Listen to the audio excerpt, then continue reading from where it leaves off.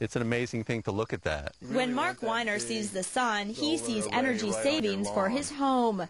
It's an amazing thing to look at that. Even on today, you know, where there's not direct sun, no bright sun, we're still making some power.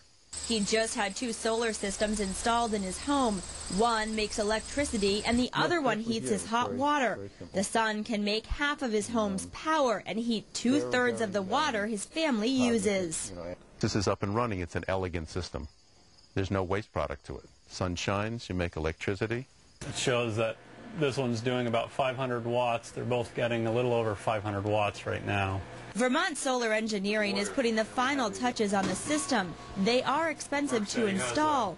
The hot water heater costs about $6,000 and the solar electric system about $28,000.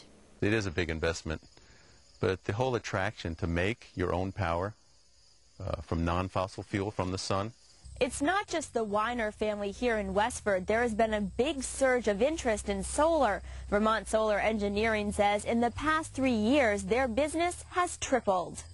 It was it was a kind of a fringe um, industry for a long time, and now it, it's come into the mainstream. It's not just people wanting to reduce greenhouse gas pollution. Another reason for the growing interest, the rising cost of home heating fuel. With a solar hot water system, the most popular one to install, homeowners will recoup their costs through energy savings within six years.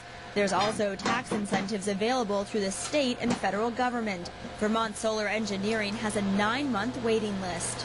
The thing that people like to talk about is, uh, you know, how, how do you make this work in the cloudy northeast? And um, it's true that we don't get as much sun as somewhere like Arizona, but at the same time, um, we get enough sun to make it work. On this day, the sun is making enough electricity to power the home and also sell some back to the grid. You can see the meter is running backward.